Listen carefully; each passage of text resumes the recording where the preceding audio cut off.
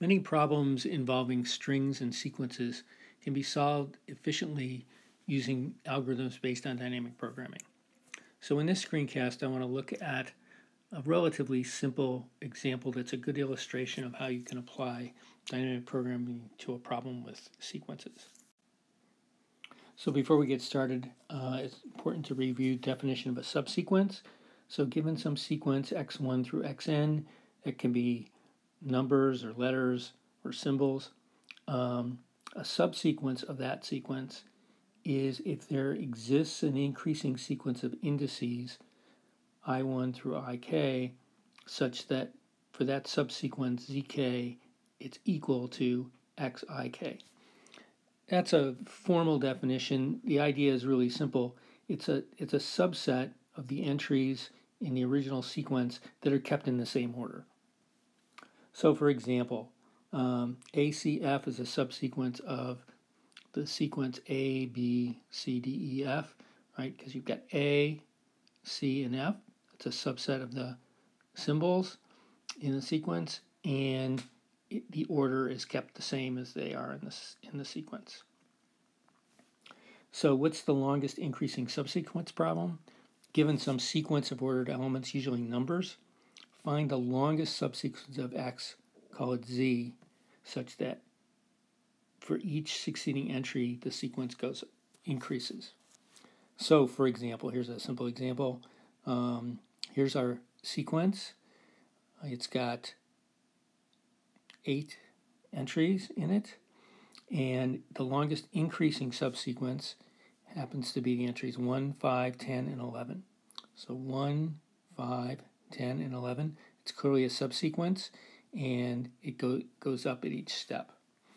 Now there are some there are other subsequences, increasing subsequences that might not be as long. So for example, um, 1, 5, and 12 is an increasing subsequence of length 3. Um, 1, 3, and 11 is an increasing uh, subsequence of length 3. So there can be lots of increasing subsequences. Our job is to find the longest one. So what I'd like you to do now is practice your dynamic programming skills and try to come up with the recurrence relation for this problem. And remember, one way to go about this is we want to find the optimal substructure. So you can think about if you knew the answer for gn, so for instance, in the last exa- the example in the last slide, if you knew the answer for the whole thing, for the whole sequence, then what answer for some smaller part of that sequence that contains all the elements up to some point would be within the answer for the long and complete sequence, GN. So, in other words, what's the, you need to think about what's the function here that these represent in detail, and then what's the recurrence relation that relates them. So, take a minute or two and think about this problem. The next slide has a hint on it, and then the next slide after that has the final solution. So, take a couple of minutes, try to work on it without the hint, then maybe if you think you need it, go on to the next slide to get the hint. So here's the hint. Again, what you're looking for is the recurrence relation. And think about the following example that we talked about on the very first slide. So we've got x is 1, 5, 12, 10, 3, 11, 4, 3. We know the longest increasing subsequence is 1, 5, 10, and 11. So given that you know this, so gn is equal to 4, given that you know this, what gk for some k less than n, so some point up to here, in here somewhere, is contained within it. So the tricky part here is that what we have to keep track of is the length of the longest increasing subsequence that ends with xk. So in other words, and then once we do that, then what's the recurrence relation going to be?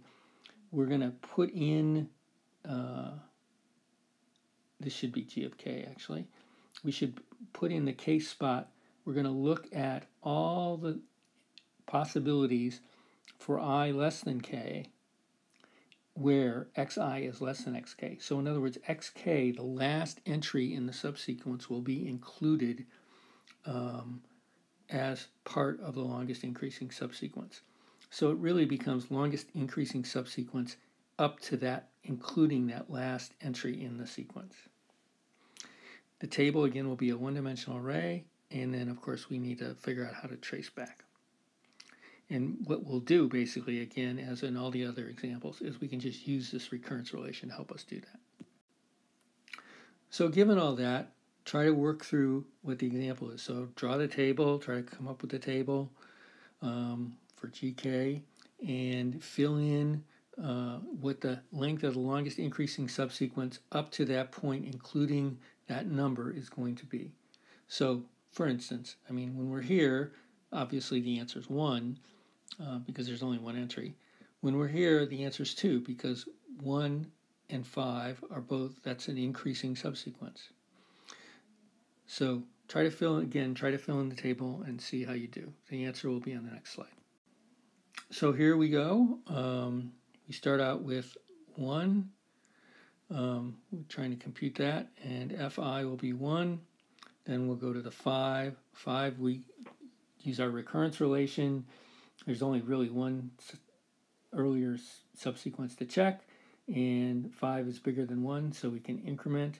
It's 2. Um, 12 is bigger than 5, so we can increment that. We get 3. Now 10 is interesting one. So 10, we compare 10 with 12, but 12 is bigger than 10, so we can't use that 3. But 5 is less than 10, so we can use the 2, and we can add 3 to that. Then 3, right?